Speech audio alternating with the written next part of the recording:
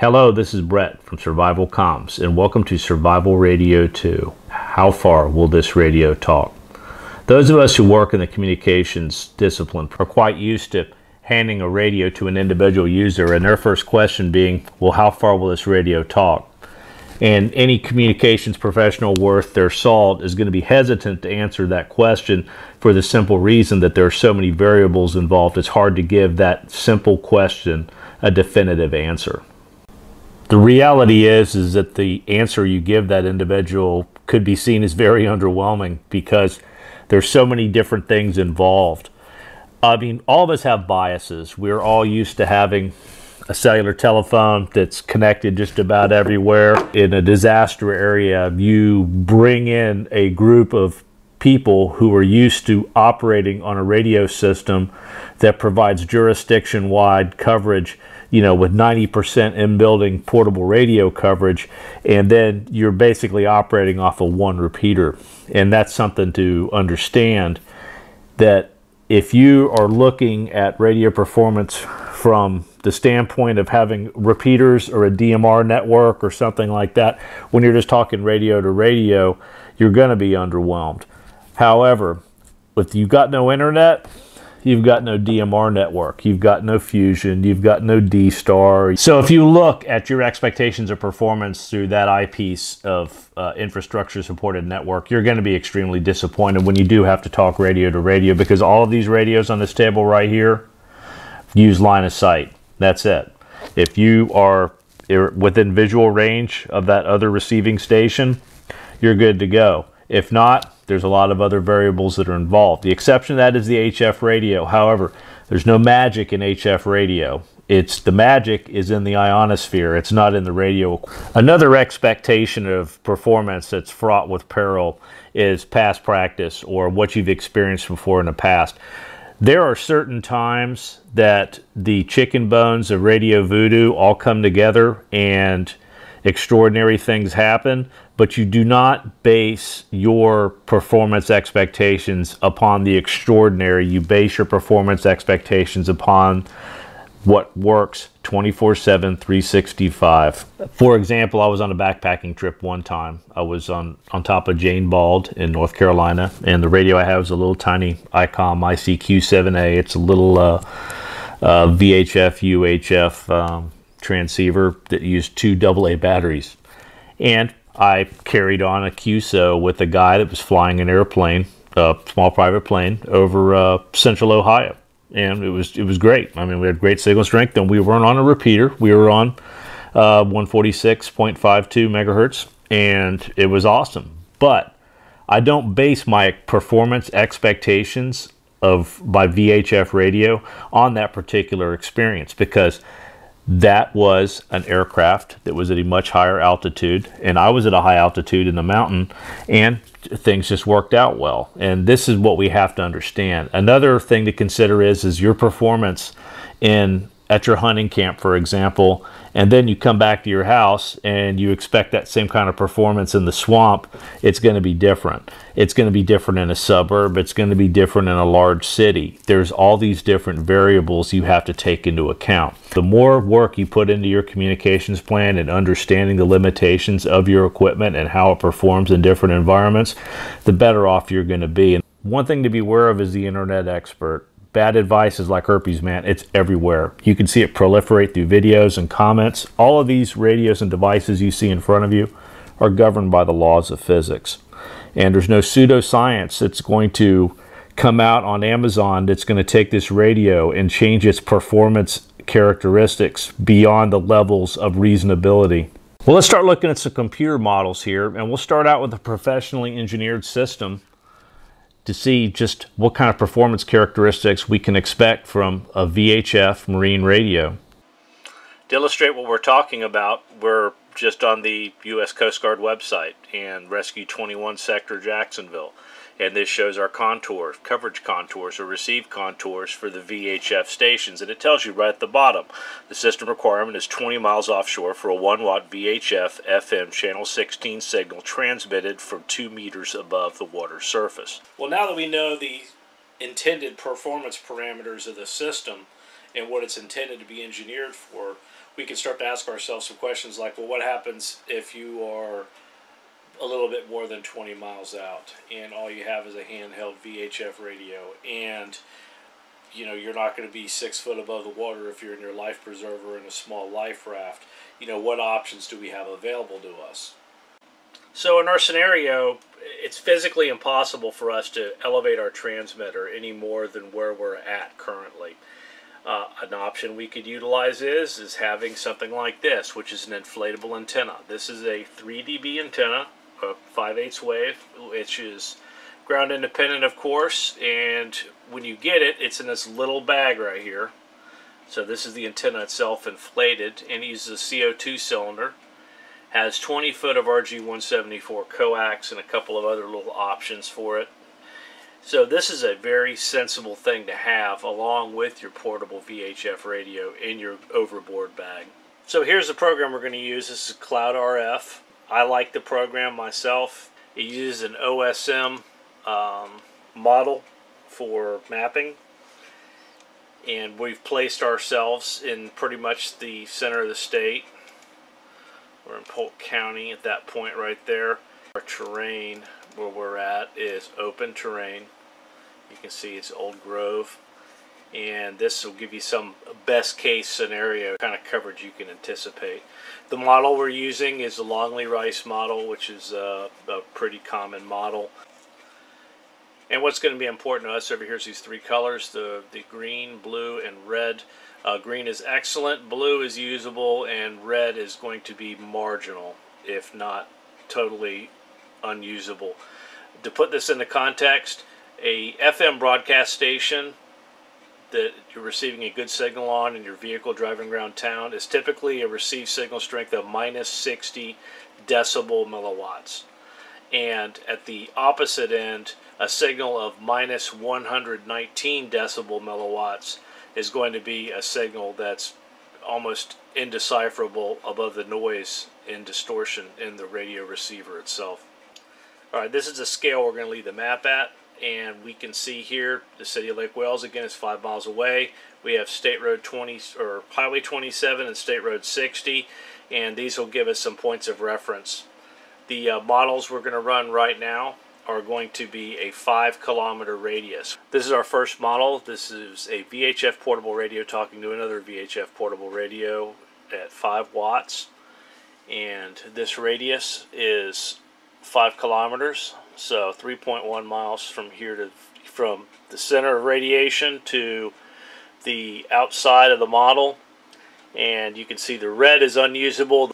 This model represents what happens when you take your portable radio and you put up a roll-up J-pole or a my survival comms ground plane kit and hang it from a tree at 18 feet of how it affects your coverage. This is, again, this is a five kilometer model here, but you can see that we've cleaned out all of our red that we had in here before, and this must be a high spot right here.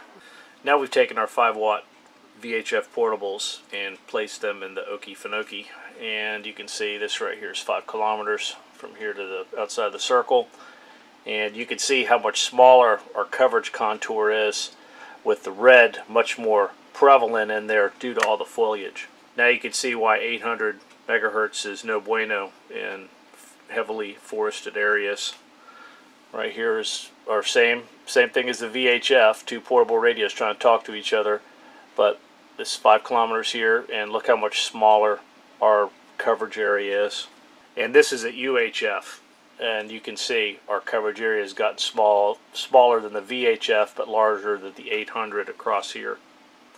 Now we've taken our 5 watt portables for a trip to the mountains and this is our transmitter, 5 watt portable radio on top of Clingman's Dome and this is 20 kilometers across here. So you can see the interesting kind of coverage that we get and just how there's a complete lack of coverage interspersed with great coverage and with moderate coverage.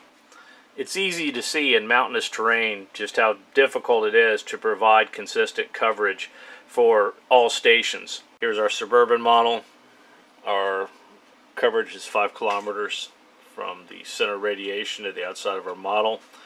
And based upon my personal experience in this particular area right here, that this model is entirely too generous, that your current coverage is just outside the green for portable radio to portable radio. And we've taken our two 5 watt portable radios to Atlanta, and we're currently outside of the Peachtree Plaza and 5 kilometers again. And we can see how all the structure kind of skews our radiation pattern in this model. This model is two mobile radios. These are uh, just 20 watt output mobile radios running quarter wave antennas and you can see just how much larger our coverage has become. This right here is a 10 kilometer. If I go back to the scale we were on before, whoops, that's where we were at before. And you can just see how much larger our green is and how much our coverage has increased. This model is two VHF stations using 20 watts of power. Antennas are mounted at 60 feet of height, talking from one station to the other. And this is the kind of coverage we can anticipate from something like that according to the model. Here's our center of radiation. This is our edge of the model. And the edge of the model here in this example is 60 kilometers. So not quite into I-4. Um, uh, certainly not into Disney World yet or anything like that. But this shows you how much larger that coverage area becomes just by elevating antenna. This model represents field deployable infrastructure. Let's say that you brought in a VHF repeater and put have it on a Luma tower or a Pepro trailer and you've set it up for 100 feet is what this model is. The model itself, this is 30 kilometers from center radiation the outside of the model. Theoretically, anything within blue should be able to talk to one another since that center of radiation is a repeater. Now keep in mind this is a very generous model. Uh, this doesn't take into account in-building coverage. And my experience has been from the center of radiation to the outside is five miles so you end up with like a 10 mile footprint with portable radios with a, a setup such as this.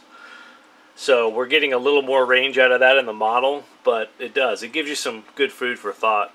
This model here is an individual with a 2 watt aviation band portable radio. The station he is trying to talk to is at 500 feet of altitude. This right here from, from the center radiation to the outside of our model is 30 kilometers and this gives you an idea of the kind of coverage you have taking advantage of elevation. Now we've bumped our search aircraft up to thousand feet and you can see just how much larger the area covered is. Now you may ask yourself, well, why didn't you cover HF radio in this video? The reason why is is because I'm putting HF radio in an entirely separate video because there's so many other variables that are in place. HF radio, from my observations in the YouTube and preparedness community, uh, outside of the people that are experienced in its use, is kind of a misunderstood concept in my opinion. It's something that it's an extremely valuable tool, but an HF radio to properly use it isn't something you can hand to an, a user and give them a five minute class on and they're going to use it effectively. That being the case, I don't feel like adding HF radio to this video would do it justice. I will tell you that the performance of HF radio and line of sight performance is very similar to what you're seeing with the radio system shown in this particular video here and keep an eye out for that on Survival Radio 3. Let's say that our system fails to meet our expectations and we're in the middle of a situation and we have to take some kind of corrective action. This is our toolbox right here. The first and most important one is, is if possible, to increase your elevation or change your position. At fringe coverage, just slight changes to the left or the right of a, a tree or a man-made object can make tremendous differences in your radio coverage. Elevating your position, bringing your antenna up, makes a huge difference in radio coverage as well. Our second tool, considering carrying a more efficient antenna system in your survival radio kit or your radio kit in general, and having that resource available to you. Although it may take a little more time to set that device up, it's going to provide you with a more reliable talk path and it's going to allow you to reduce your power output to preserve your battery life. Number four is to reduce system losses. This is something that's more of a planning consideration than an operational consideration because you probably don't have the equipment on hand to actually make this happen. But when you're planning your more efficient antenna system that takes advantage of elevation, perhaps use the best feed line or the best quality feed line you can afford to carry weight wise and keep those links at a minimum.